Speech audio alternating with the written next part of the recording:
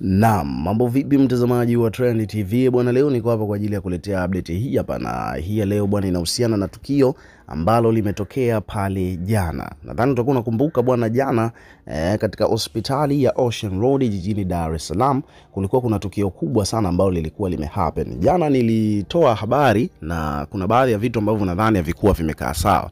E bwana, ni kwamba katika tamthilia ya Jua Kali ambayo inaongozwa na Lamata ni kwamba kuna kasti ambazo zimepewa mule, kuna Luka pamoja na, na kuna kasti mule ndani katika Jua Kali. Kama mtu unafuatilia Jua Kali, basi obviously utakuwa unawafahamu watu ambao wanaigiza katika tamthilia hiyo mm.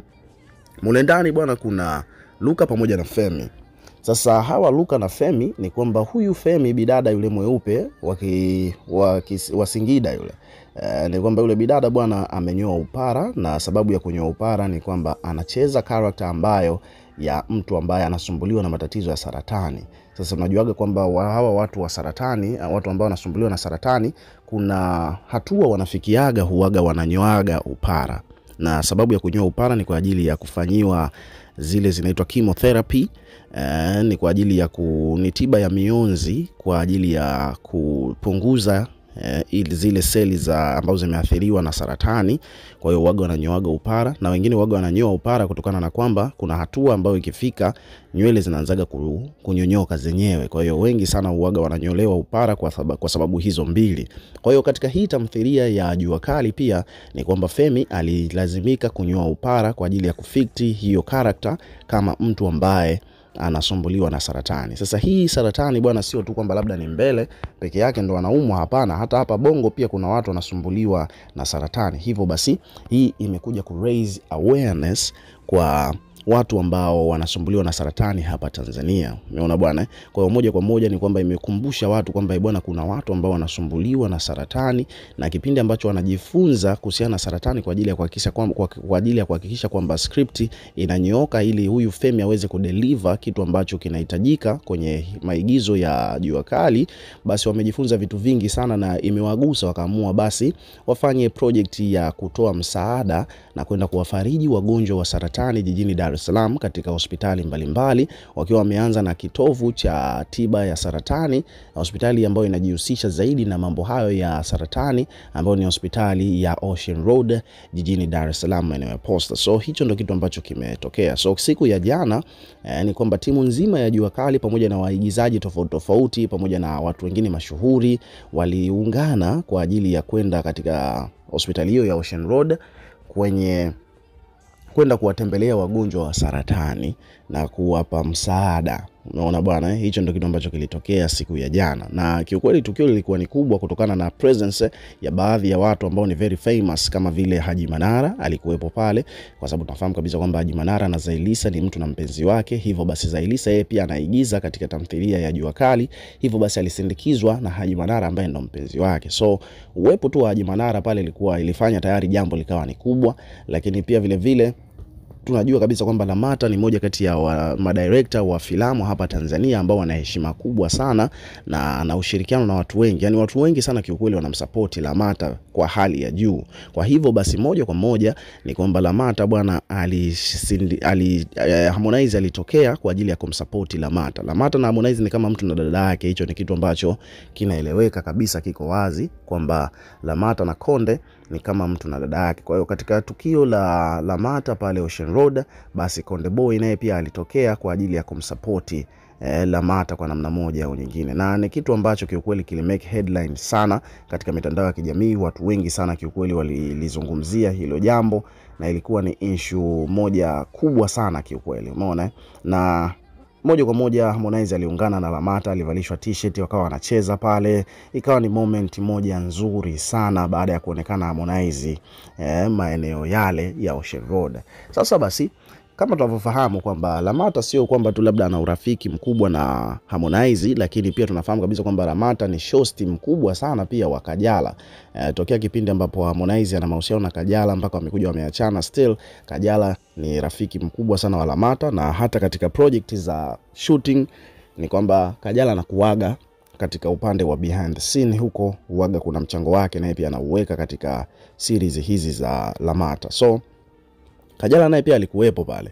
Sasa jambo ambalo limekuja ku make headline ni kwamba wabongo wameanza kuuliza, watu wameanza kuhoji kwamba kwa sasa hivi tunajua kabisa kwamba Harmonize na Kajala wameachana na ni kwa muda mrefu, ni miezi karibuni sita.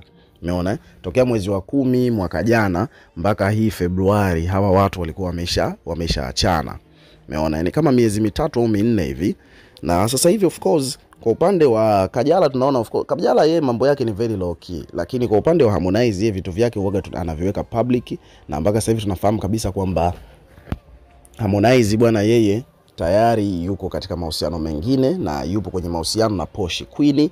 E, na jambo ambalo limetokea bwana ni kwamba Konde na Poshi sasa hivi ni wapenzi, na pale katika tukio lile ni kwamba Poshi hakuwepo hmm? Kwa sababu pale katika lile lile tukio kuna uwepo wa Kajala. Kajala alikuwepo pale Ocean Road akiwa anashirikiana na Ramata, so Harmonize alitimba peke yake. Watu wakawa wanajiuliza sasa, bwana Poshi yuko, alikuwa wapi kipindi hawa maex wanajumuika au wanaku, wanakutana huko Ocean Road? Umeona bwana, watu wana, wanahoji wamehoji sana kuhusiana na hilo kwamba bwana Poshi Queen alikuwa wapi kipindi maex wanakutana huko Ocean Road. Hicho ndo kitu ambacho watu wamekuwa wakijiuliza eh, katika mitandao ya kijamii umeona bwana eh. Sasa watu wanahisi kwamba labda Harmonize alikuwa anajua kabisa kwamba pale lazima Kajala atakuwepo. Kwa kitendo cha yeye kwenda na Poshi inakuwa ni kama vile ameenda kum, kumfanya yani inge, ile issue ya saratani project ambayo alienda pale kuifanya ingemezwa na uwepo wa mambo ya makiki kwamba eh, Poshi amekutana na Poshi na Harmonize ameenda katika amepita mbele ya Kajala na Poshi, umeona. Kwa hiyo ingekuwa ni issue fulani hivi ambayo ingepoteza maana halisi ya kitu ambacho ameenda kukifanya, kama tunavyofahamu the way ambavyo mitandao ya kijamii hapa Tanzania inavyokwenda. So watu walikuwa wanajiuliza hivyo kwamba bwana Poshi Queen mbona alisusia ile show au alisusia tukio ambalo Harmonize alienda kulipresent la Cancer hapo Ocean Road au kwa sababu Kajala alikuwepo. Kwa kuna mtu hapa amekuja ameposti katika ukurasa wake wa Instagram ameuliza, bwana, kwa nini Harmonize hakwenda na Poshi eh, kumsapoti Lamata? Naona hapo hapa chini akaandika kwamba katika matukio kama haya tumezoea Harmonize huwa anaongozana na mpenzi wake Poshi Queen, lakini katika tukio la kumsapoti Lamata Poshi Queen hatujamuona kabisa. Tumemwona Harmonize akiwa peke yake. Shida ni nini? Au sababu ni Kajala pia alikuwepo maeneo hayo? Umeona bwana, so hilo ndo swali kubwa au swali zito ambalo watu wamekuwa wakiulizana huko mitandaoni. Sasa tunataka hapa tucheki baadhi ya maoni ambayo yamejitokeza. Kwa mfano, hapa kuna mtu anaitwa Winnie Africa. Winnie Africa yeye anasema kwamba bwana, sijui hata ninacheka nini. Kwa mtu anaitwa Marco Still underscore anasema dot underscore anasema kwamba bwana, mambo ni mengi sana ya kujiuliza kiukweli, hata majibu tunayakosa. Kuna mtu mwingine anasema bwana, kuna mtu hapa anaitwa Deuni Quina anasema kwamba bwana, hivi huyu Lamata anaumwa kweli, anaumwa kweli saratani au ni maigizo? Of course jamani, ile ni maigizo tu, msije mkadhania kwamba ni real. Kwa mtu mwingine anasema kwamba bwana, kiukweli huwezi uza content bure. Poshi anaumwa an, ana, anaonwa kwa pesa, alafu story ingekuwa ni Poshi badala, ingekuwa ni Poshi badala ya Lamata na saratani. Umeona ya hiki ndio kitu ambacho nilichokuwa nakizungumzia, ni kwamba kweli kabisa kama Poshi angeenda pale eh, akiwa na Harmonize, story ingekuwa ni kwamba Poshi ameenda kwenye ametokea na Harmonize mbele ya Kajala. Yaani hiyo ndo story ambayo ingetrend na sio issue tena ya saratani. Kwa hiyo kitu ambacho kilikuwa kimeenda pale kwa ameenda pale kukikusudia kukifanya bwana eh, swala zima la eh, la kusapoti saratani lingemezwa eh, yani hiyo stori yote ingemezwa na tukio la Poshi Queen kutamba na mkalio wake mbele ya Kajala. So hicho ndo kitu ambacho kimehappen. Kwa hiyo ili kuepuka hayo yote, ili main point iwe ni saratani na Lamata kutoa msaada, wakaona tu ni Harmonize pekee ndio atokee. Kwa hiyo ni busara imetumika kiukweli. Unaona eh? Yaani ni busara imetumika na ndio maana hata Kajala mwenyewe pia hakusogea kabisa karibu na Harmonize katika ile katika hilo tukio lote.